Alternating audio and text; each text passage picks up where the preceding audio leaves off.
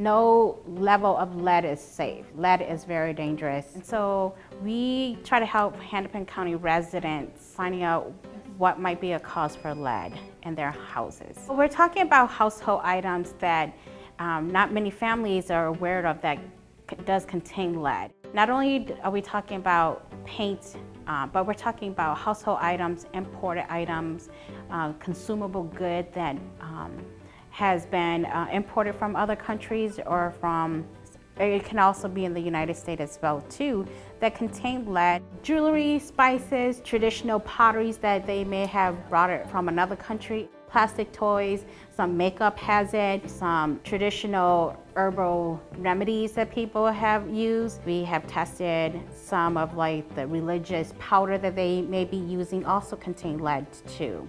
Um, you're not supposed to have lead in your body, so if you do get lead in your body, it's pretty dangerous.